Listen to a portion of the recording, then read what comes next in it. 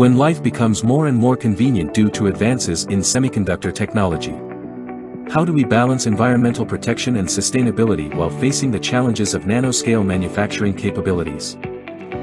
The answer is, with LINCO Tech's comprehensive dry process solution, the reduction of toxic chemical solvent usage is achieved, aligning with ESG principles for environmental sustainability. Linkatech was founded in 1999 and is located in the central Taiwan Science Park.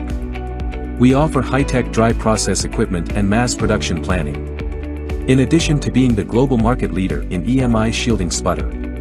We've also established joint development partnerships with many top-tier tech giants, developing various types of sputter and etch equipment needed for semiconductor and advanced packaging.